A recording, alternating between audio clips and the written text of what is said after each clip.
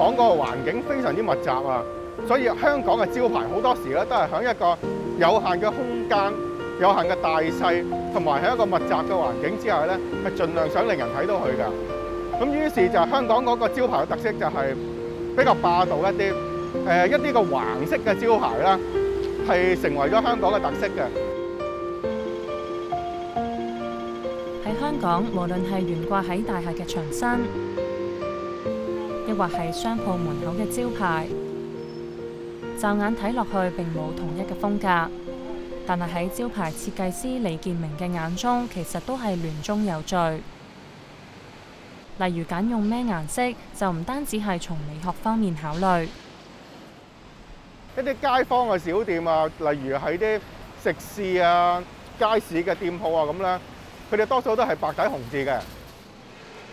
咁而一啲嘅中西醫啊，或者係一啲跌打醫館啦，佢哋咧就避免用紅色字，就通常用黑色字嘅。咁啊，因為咧去揾醫生嘅客人咧，就通常都比較罩忌見血，咁啊，所以咧就唔會用紅色字㗎。選用唔同嘅字體，亦都能夠體現鋪頭嘅風格。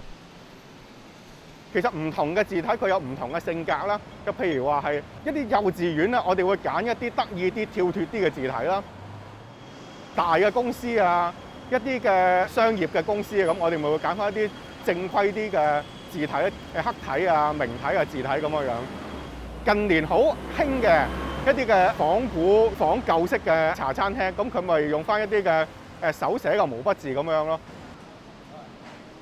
李建明話：香港招牌最大嘅轉變就係手寫字體逐漸被取代，商鋪寧願用更加就手、更加平嘅電腦字體。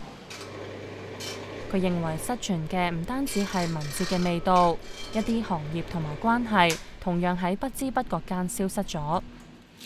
招牌師傅就係有好多佢哋都唔識寫毛筆字嘅，咁佢哋咪揾啲寫字師傅咯。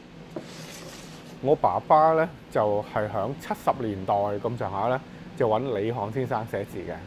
佢哋最初都係寫字師傅啦，同埋呢個招牌師傅嘅關係嘅啫。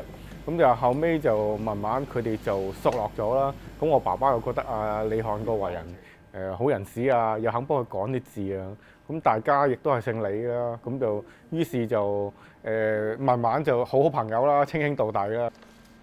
呢啲企人邊度嘅齊字有嘅咩？啊呢個係有有啊，有呢個字都係齊字喎。有。寫字師傅李漢翻咗鄉下退休，留低嘅只有幾千個字稿。有冇個時候寫得好啲啊！佢就係將字嘅所有筆畫咧，就用啲書法嘅模式，就譬如話啲連筆啊，用啲嘅筆畫嘅遷就啊，去將所有嘅筆畫連結埋一齊。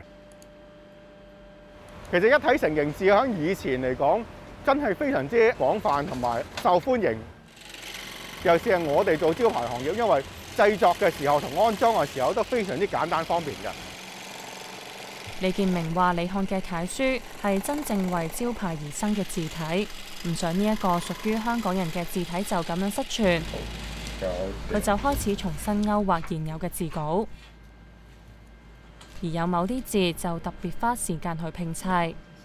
中間呢個部分咧，咁就有一個罐口嘅罐字啦，可以咁講啦。咁呢三撇就係好似姓彭嗰個彭字嘅三撇啦。咁呢一度呢一個兜一個交叉四點呢個，我係大概係一個滷水個滷字嗰度攞出嚟嘅。然之後呢，我就係將呢啲部件拼合咗之後，我再參考翻其他嘅手寫書法字體，咁就拼合到誒比較順眼為止啦。要製作一套日常應用嘅書體，最少要有五千二百個字。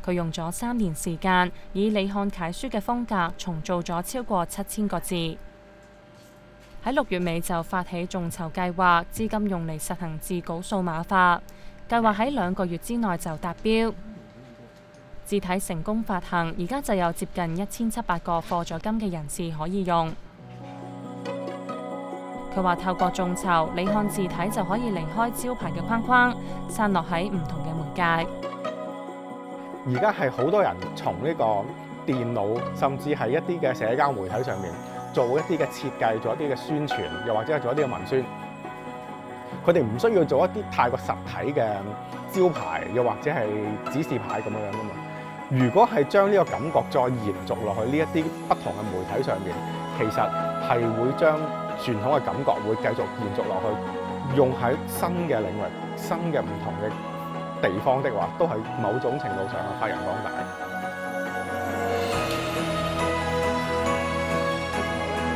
多格招牌入邊咧，我哋咧就會睇得到一種好特別嘅情況，就叫獨入鋪嘅現象咧。通常嚟講，啲招牌字咧就係由馬路個方向咧，就向呢個鋪頭個方向閱讀嘅。嗰個商號個名咧係永遠係擺最出嘅。街道滿佈招牌嘅風景越嚟越少見。多格招牌咧，其實李建明希望喺佢哋消失之前，大眾願意主動踏出第一步，認識呢一種由老一輩製作、新一代復修嘅繁體字美學。自從咧工業北移咧，香港製造已經係非常之珍貴嘅。咁香港係一個都幾外向型嘅社會啦，其實係不停咁同外邊去接觸咯。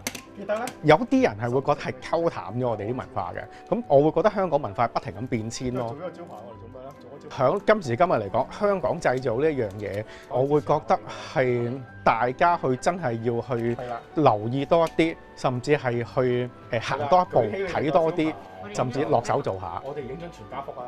我希望你見到佢，你見到呢一樣嘢，你就諗起香港製造咯。即使將來講唔講得，你見到呢樣嘢，你就會諗起佢咯。